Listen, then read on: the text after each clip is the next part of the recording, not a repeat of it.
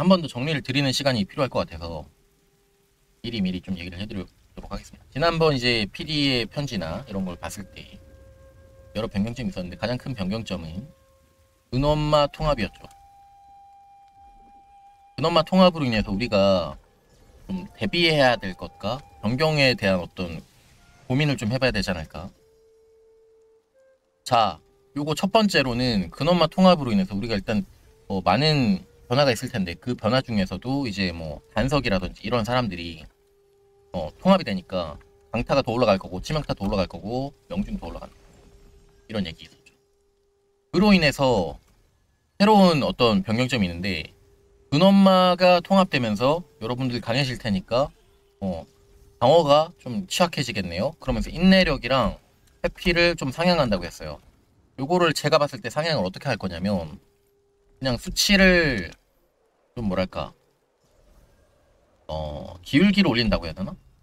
어 수치에 어, 뭐라고 표현해야 되지? 원래는 인내 1이 어 치명타에 한뭐 1을 이제 커버친다 생각했을 때 뭐 한 이 정도로 바뀌는 거야. 비율이 좀 바뀐다. 응? 비율이 어 좋아진다. 라고 해야 되나? 설명이 좀 잘 안 되네요. 아무튼 이런 식으로 좀 상향이 될것 같습니다. 그러니까 인내 1이 가지던 효과가 더 커진다고 봐야 돼.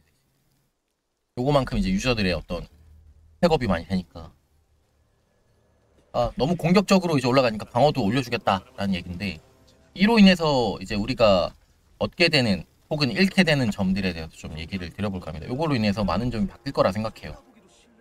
저는 가장 우려하고 있는 부분은 일단 첫 번째로 이거는 지난번 이제 영상 보면서도 얘기를 좀 드렸던 부분인데요. 일단은 치명타 딜러들의 어, 어, 상대적인 딜 하락이 될 거라 생각합니다. 치명타가 주요한 딜러들은 대표적으로는 어떤 애들이 있냐면 단궁, 단검, 석궁, 그 다음에 장궁이 있어요. 얘네 무기를 보시면은 무기의 민맥댐이 차이가 매우 큰 레키루스 같은 거 보시면 4배 차이 납니다. 4배 차이.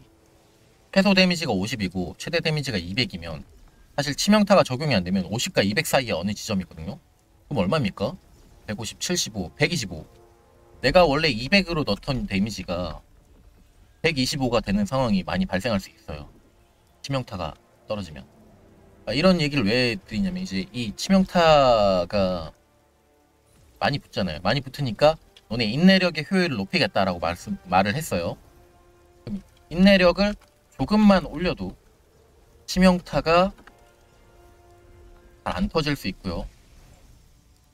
특히나 사냥 같은 거 할 때 보스를 잡을 때도 그렇고 몹들 보시면 몹들이 어 인내력이 좀 있는 걸로 표현이 됩니다. 어, 인내력이 좀 있는 거로 봅니다. 저는 있다고 저는 어, 생각합니다.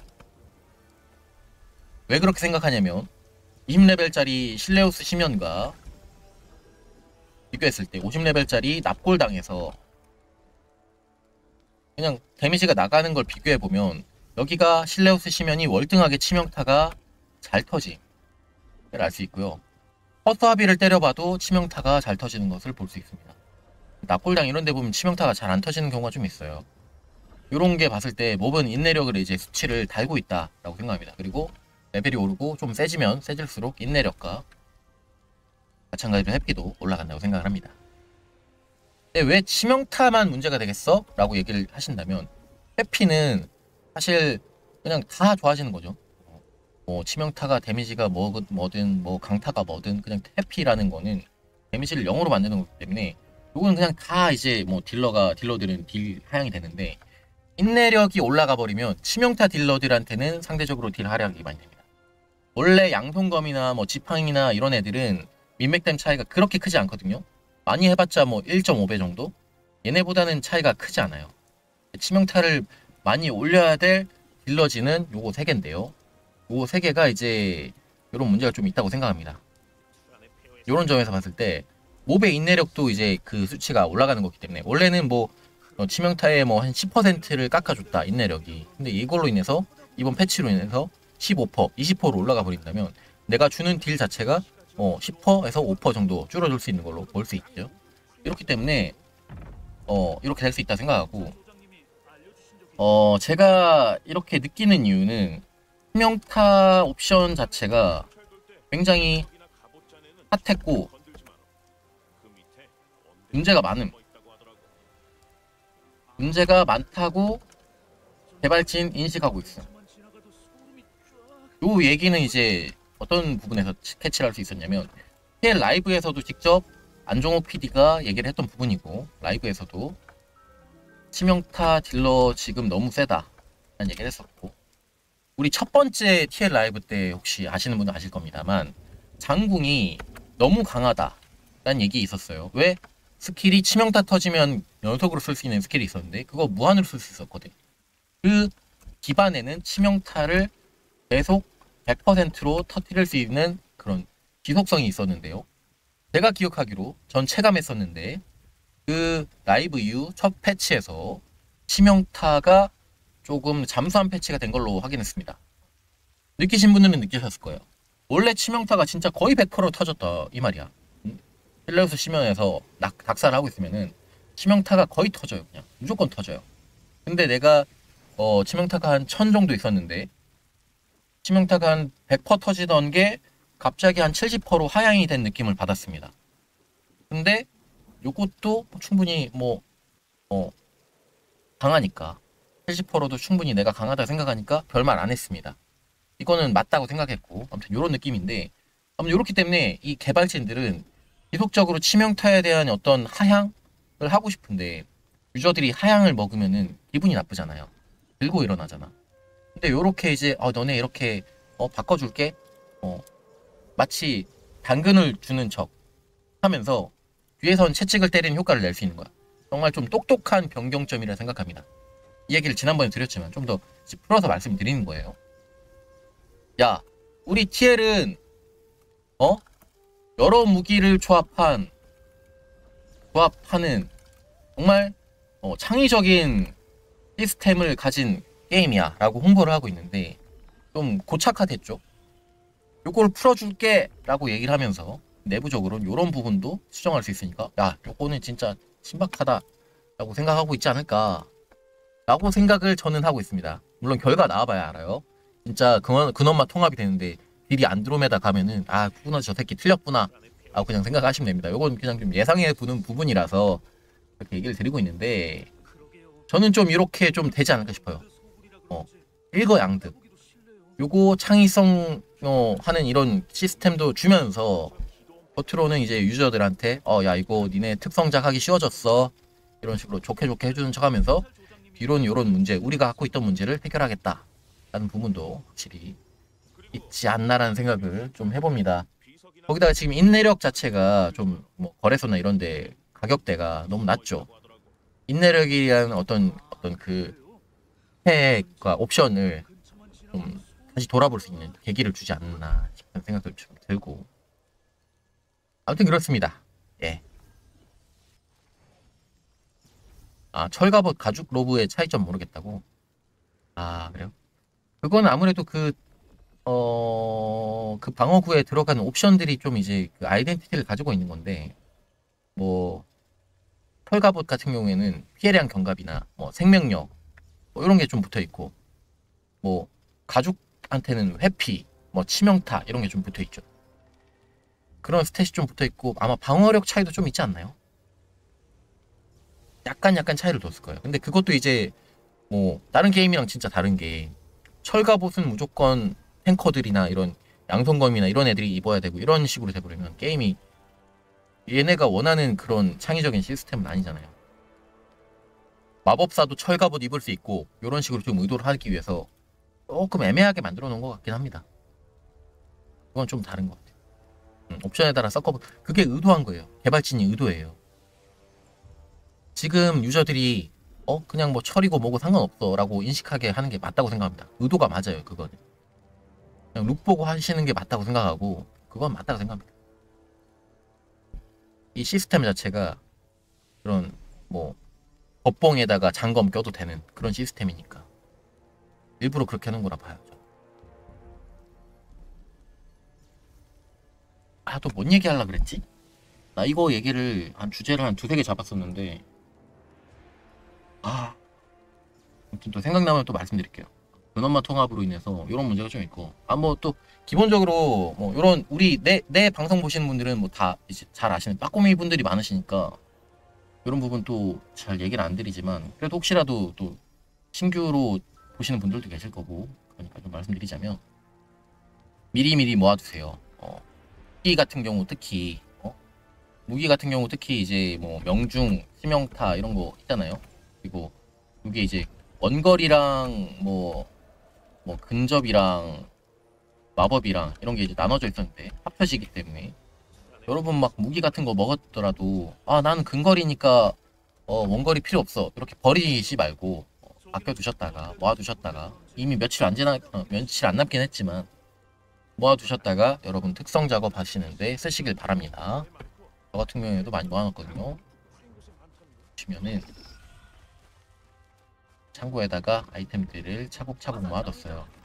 지금 저는 근거리 강타 적중은 이미 80으로 다 찍어놨는데 이제 원거리 강타가 없죠. 원거리 강타는 여기 일단 아이템 만들어놨고 여기 보시면 근거리 강타 적중 이런 거 다 모아놨습니다. 강타 적중 위주로 그러니까 원거리냐 강타냐 이제 뭐 가- 어, 원거리냐 근거리냐가 이제 통합이 되기 때문에 모든 거를 이 석궁한테다가 원거리 강타 적중을 줄수 있는 이 상황이 되는 거죠. 그렇기 때문에 모아두시는 걸 추천드립니다. 또 혹시라도 모르셨던 분들을 위해서 말씀 한번 드리, 더 드리는 거고 어, 아무튼 그렇습니다. 또 생각나는 부분이 있으면 또 말씀드리도록 하겠습니다. 혹시라도 뭐 야, 이런 부분 좀 얘기를 좀 하셨으면 좋겠습니다 하시는 분이 있으면 말씀 주시고요. 물좀 떠올게요. 말을 너무 많이 해.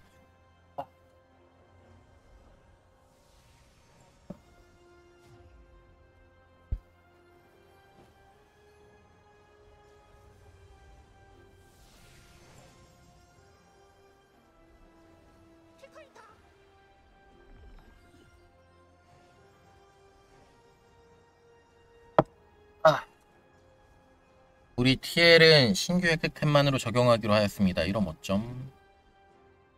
글쎄요. 그럼 폭동이 일어나겠죠. 근데 의도 자체가 여러분들이 특성을 많이 모을 수 있게 해드리겠습니다. 했기 때문에 그럴 일은 없을 거라 생각합니다.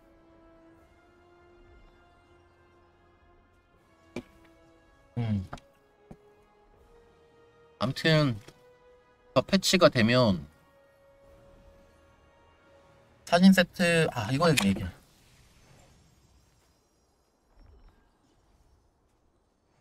그로 인해서 이거 제가 혹시라도 욕먹을까봐 미리 좀 말씀드립니다. 사진 세트 제가 좋다고 말씀드렸잖아요. 지금 현존하는 가장 좋은 옵션이다. 말씀드렸죠. 왜? 원래 치명타가 거의 100% 근접했고 뭐 못해도 70%까지 근접했기 때문에 요거 질량을 계산해 보면 치명타 21%는 미쳤다. 너무 좋다라고 말씀드렸는데 이거 패치 이후에는 바뀔 수 있습니다. 치명타 딜이 이제 기대값이 떨어질 수 있기 때문에 인내력으로 인해서. 인내력 상향이 있기 때문에 어 요거는 좀 이제 고려를 해보셔야 됩니다. 4월달에 서비스를 종료하겠습니다. 나오면 대박이라고. 그럼 안 되는데. 나 여기다 사활을 걸었는데 PL의 진심인 스트리머는 안돼 필진스 접히면 나도 일자리 잃는 건데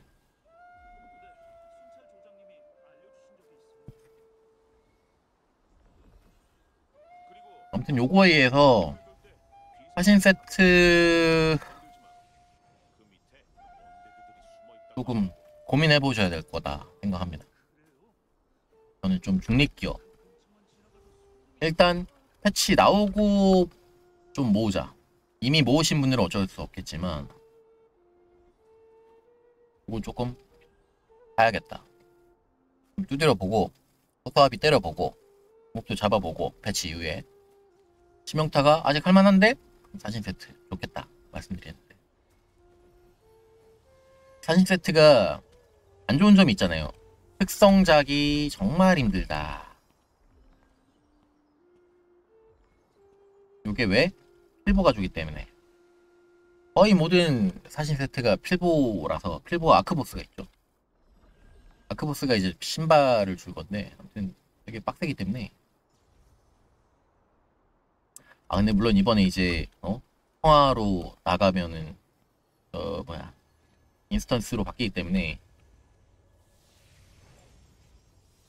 사진이 좀 구하기 힘들어 힘들었던 게 완화될 수 있긴 하겠습니다.